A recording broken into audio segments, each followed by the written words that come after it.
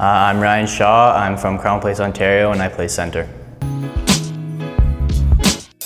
My favorite movie, probably the Harry Potter series. Those are good.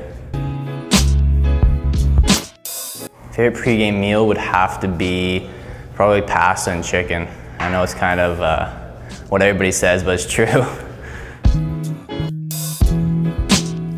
Old stuff. I like uh, I like ACDC. I like the rock and roll stuff too.